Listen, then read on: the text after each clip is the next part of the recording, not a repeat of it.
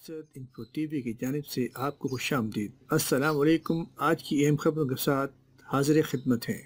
तो वो दोस्त जो सऊदी अरब में मुकीम हैं, उनको बताया जाता है कि घर से बाहर निकलने से पहले वजारत दाखिला की सख्त वार्निंग ज़रूर गौर से सुन लें। वो वार्निंग क्या है, इसकी तफसील जानते हैं। सऊदी वजारत दाखिला ने कोरोना वायरस से बचाव के लिए नए कवायद और जवाबत का ऐलान कर दिया है। जवाबत के तहत घर से बाहर मास्क न पहनने वाले पर एक हज़ार रियाल जुर्माना आयद किया जाएगा। सऊदी खबर एजेंसी एस पी के मुताबिक वजारत दाखिला के जराए ने कोरोना वायरस से बचाव के लिए मुकर एस ओ पीज़ के हवाले से बताया है कि खानगी आइली और दीगर इज्तम में शरीक अफराद की तादाद में तरमीम करते हुए इन्हें पचास अफराद तक महदूद कर दिया गया है। ताहम, इससे जायद अफराद की एक जगह जमा होना खिलाफ कानून शुमार किया जाएगा।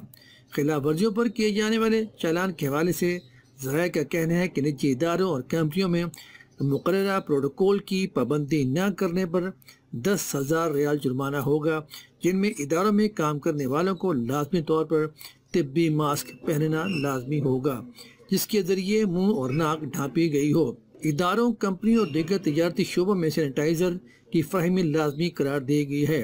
तजारती मॉल्स में आने वालों का जिसमानी टेम्परेचर नोट करने का खसूस बंदोबस्त किया जाए।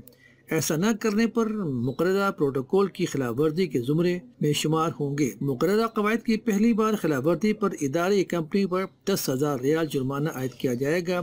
खिलाफ वर्जी दोबारा रिकॉर्ड किए जाने की सूरत में जुर्माने की रकम दुगनी यानी बीस हज़ार रियाल कर दी जाएगी। जारी किए जाने वाले कवायद में बताया गया है कि हर शख्स के लिए लाजमी होगा कि वो घर से बाहर निकलते वक्त एहतियाती तदाबीर इख्तियार करते हुए मास्क के इस्तेमाल को यकीनी बनाए। कपड़े या डिस्पोजेबल मास्क इस्तेमाल न करने या समाजी फासले के असूल पर अमल पैरा न होने पर एक हज़ार रियाल जुर्माना आयद किया जाएगा। ऐसे अफराज जो किसी तजारती माल, इदारे या कंपनी में दाखिल होते वक्त जिसमानी टेम्परेचर चेक कराने से इनकार कर दें। इन पर भी खिलाफ वर्जी रिकॉर्ड करते हुए एक हज़ार रियाल जुर्माना आयद किया जाएगा। जराये का कहना है कि एस ओ पीस का मकसद कोरोना वायरस की वबा पर काबू पाना और से मजीद फैलने से रोकना है, ताकि महफूज रहते हुए मुआशी और माशरती ज़रूरियात को पूरा किया जा सके। बार्बर शॉप्स और ब्यूटी पार्लर्स कब तक खुलेंगे? तफसील जानते हैं। सऊदी अरब में इदारा सेहत आमा में शुब वबाई अमराज के माविन सेक्रेटरी डॉक्टर अब्दुल्ला असीरी का कहना है कि वो शोबे जहाँ समाजी दूरी के असूलों पर अमल मुमकिन नहीं, इन्हें ताहाल खोलने की इजाज़त नहीं दी जाएगी। डॉक्टर असीरी ने T V news channel Al Akhbariya को इंटरव्यू देते हुए बताया कि बार्बर शॉप्स या ब्यूटी पार्लर्स के अलावा जिम, स्पोर्ट्स क्लब को भी खोलने की इजाज़त उस टाइम तक नहीं दी जा सकती। जब तक कि वबा का खात्मा या इस पर मुकम्मल तौर पर काबू नहीं पा लिया जाता। डॉक्टर असीर का कहना था कि वबाई मर्ज कोरोना के हवाले से मुतल इदारे, मुसलसल और बारीकबीनी से जायजा ले रहे हैं।